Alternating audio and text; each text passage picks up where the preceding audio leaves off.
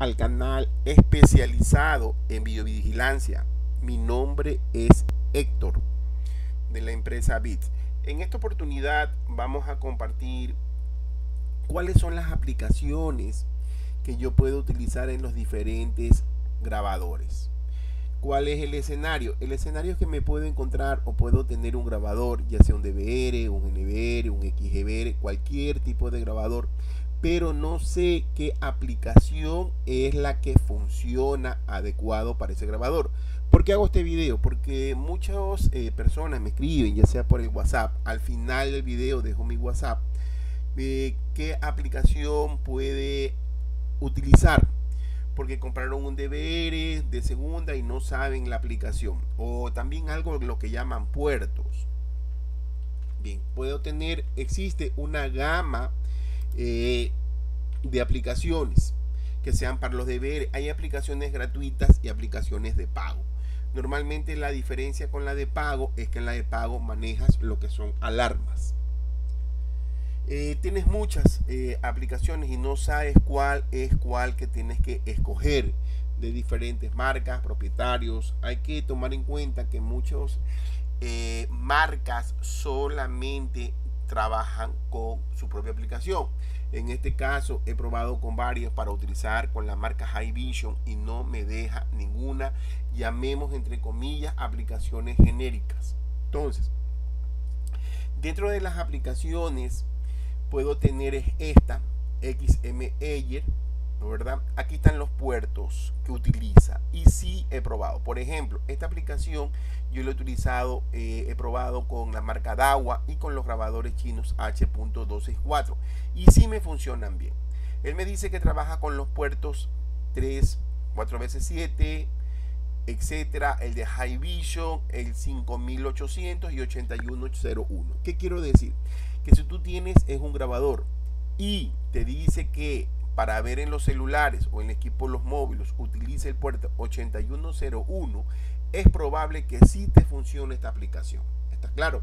Si yo tengo un grabador y me dice que utilizo el puerto 5800, puede ser que sí me funcione este grabador. Eh, he probado con DAWA, ya sabemos que DAWA utiliza el GDMS, IDMS, el AC4IP, ¿no verdad? Eh, dentro de mis videos hay un bastante material sobre ese punto. También tenemos el H264 que por lo general utiliza el XM Ayer y el High Vision utiliza la aplicación IBMS 4500. Bien, también tengo esta aplicación, llamémosle genérica, TM Ayer, ¿no verdad? ¿Por qué genérica?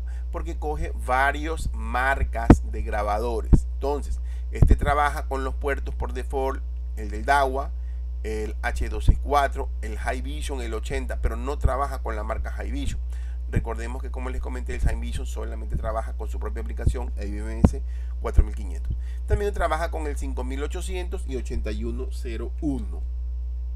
El M. Ayer, de igual forma, si trabaja con el DAWA, ya estamos hablando de las aplicaciones, llamémosles genéricas o universales, los cuales, pero tienes que tomar en cuenta que esa aplicación genérica, ¿qué te quiere decir? Que él puede trabajar con varios puertos, pero con, no con todos los puertos, ¿de verdad? Entonces tienes que saber que esa aplicación genérica, que qué puerto utiliza. Por ejemplo, en este caso, M. Ayer, él utiliza todos estos cinco puertos. 1, 2, 3, 4, 5. Con estos puertos él trabaja bien. También BM Ayer, también lo probé de igual manera, la diferencia de este que también trabaja, aparte, a, trabaja con este nuevo puerto 54599. Quiere decir que también puede cogerse ese puerto XM Ayer, que es el más utilizado en los grabadores chinos, que utiliza 34567. BM Ayer Super, eh, me gustó mucho. Yo no lo había moniado, eh, muy completo y también lo puedes utilizar para los grabadores que utilizan H.264 y me gustó porque también trabaja con serial.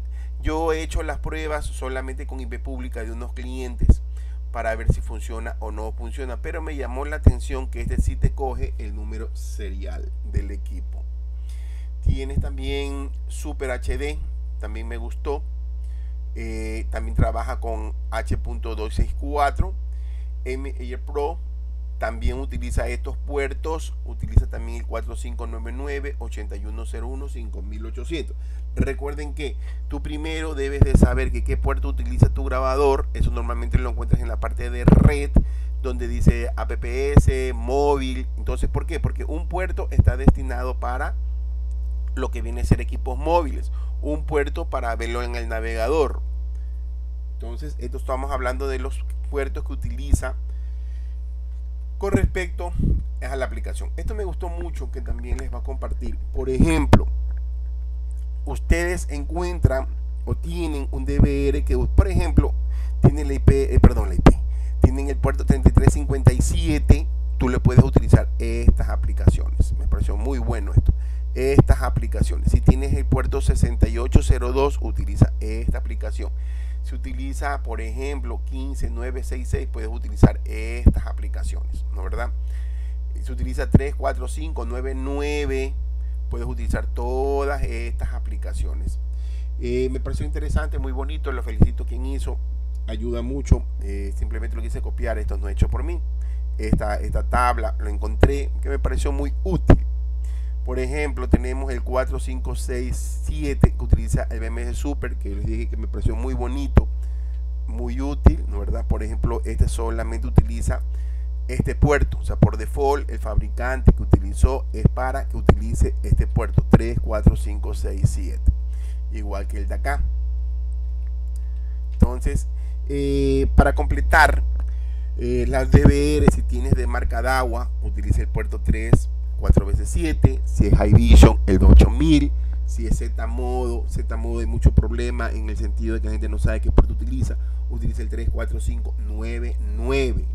34599. Entonces, si yo investigo, me dice que el 34599 me dice que aparte de utilizar la propia aplicación Z modo, yo puedo probar para ver si me funciona una de estas aplicaciones para ver si me... ¿Por qué? Porque me dice que la aplicación utiliza 34599 y el Z modo utiliza 34599.